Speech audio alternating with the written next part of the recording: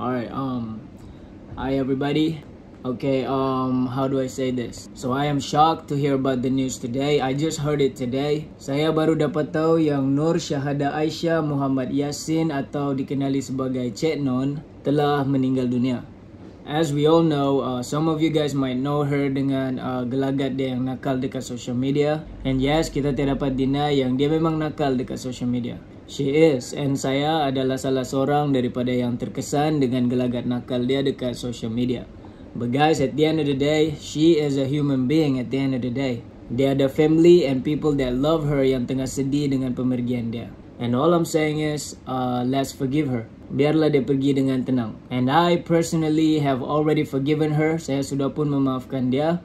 And it won't take a lot for you guys to do the same. Kita maafkan dia. Kita doakan dia agar dia ditempatkan atau berada di tempat yang baik-baik. My condolences goes to the family and people that know her. Saya mengucapkan salam takziah kepada keluarga dan siapa-siapa yang kenal dia. Kepada siapa-siapa yang kenal uh, Cik Non atau Nur Syahada Aisyah. Salam takziah.